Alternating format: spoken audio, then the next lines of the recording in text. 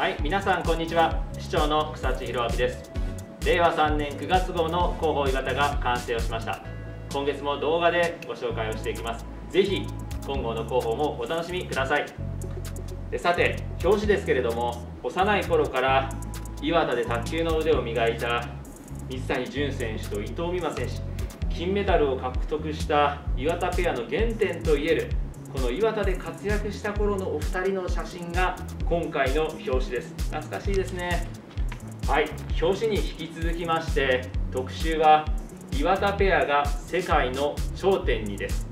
水谷選手伊藤選手の東京オリンピックでの活躍の様子やそこに至るまでの歩みを新聞の号外風に紙面でお伝えをしております。これも懐かしいですね。そしてこちらは感動をありがとう。祝福の声続々ということでお二人にお祝いと感謝を伝えるため市民の方からメッセージをいただきました。このメッセージは動画にしてお二人にも送らせていただいていますし YouTube チャンネルでも公開をしておりますのでご覧ください。次に市からのお知らせです。令和4年度保育園認定こども園それから幼稚園の入園募集です。10月から入園の申し込みが始まりますので入園を希望する皆さんはぜひご確認をお願いします。そして次に U ターン就職の促進へ奨学金の返済支援です。岩田市では U ターン就職される方をサポートするためにこうした制度を整えております。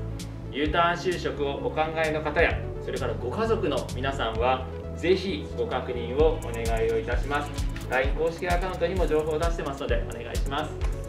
そしてどうする災害時のゴミ処理。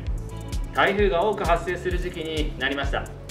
地震やゲリラ豪雨などもいつやってくるか分かりません。今回は災害時のゴミの処理のことが大きな問題になっておりますので特集をさせていただきました。ぜひご確認をお願いをいたします。で後ろの方に行きますとヒラリー岩田人は今回は高校生です。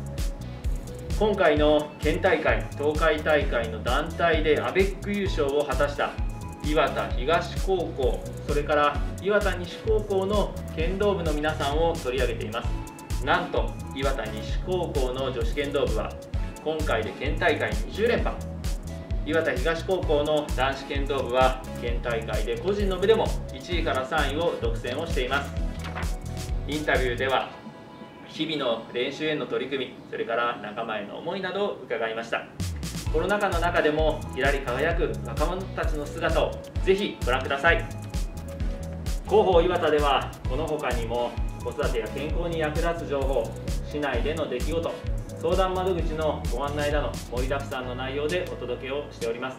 市のホームページでもご覧いただけますのでぜひご家族皆さんでご覧ください。よろしくお願いいたします。